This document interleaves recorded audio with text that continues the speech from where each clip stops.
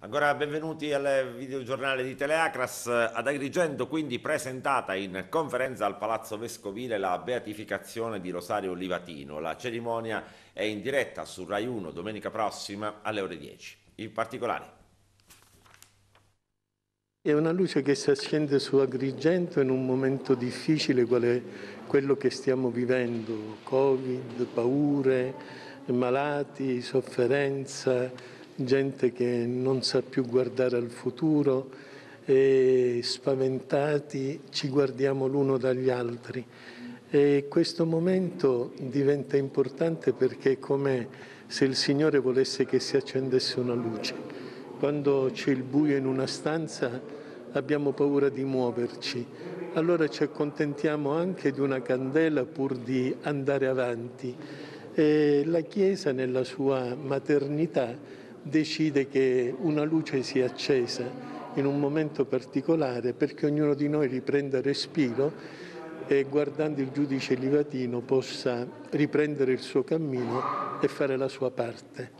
Però non è una luce accesa solo su Agrigento, sarebbe triste e mortificante il pensare che un santo agrigentino è un santo nato nella terra agrigentina, ma come beato ormai appartiene a tutta la Chiesa, quindi è una luce che illumina tutta la Chiesa.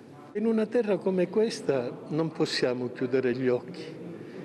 Una Chiesa deve prendere posizione nel senso che non deve lottare contro nessuno perché il Vangelo non parla di lotta ma di amore, ma in una, in una situazione di questa deve continuare ad annunciare il Vangelo con coraggio con cui l'ha fatto Livatino, per poter dimostrare che chi sa vivere il Vangelo sa anche vivere come cittadino. Io penso che è vero che i santi ci interrogano, però anche i santi ci aiutano, perché il loro esempio secondo me è straordinario in quanto spinge altri all'imitazione. Io ne sono certo di questo. Essere all'altezza significa essere una Chiesa coraggiosa, che non abbia paura né essere intimorita dalle minacce della mafia, ma nello stesso tempo una Chiesa coerente eh, per quanto riguarda l'amministrazione stessa della giustizia, cioè è la Chiesa che innanzitutto deve dare esempio di giustizia. Ecco, allora sì che si raccoglie profondamente l'eredità. E poi l'altro aspetto è quello educativo.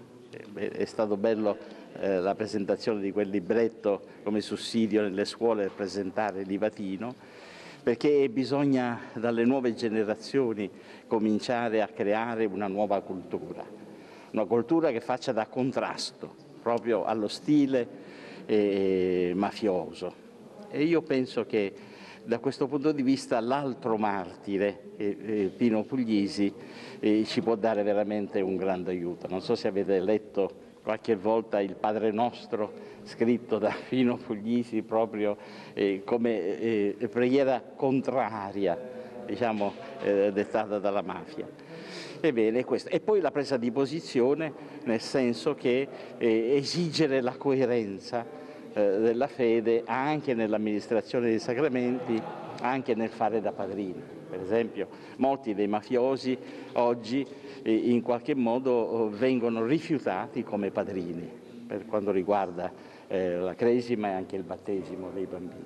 Questo secondo me è presa di posizione, questo è coraggio. Penso che eh, queste esperienze eh, siano oh, veramente un programma per il futuro per le nostre chiese, ecco, per essere all'altezza proprio della vita, del coraggio e della vita di questi nostri martiri.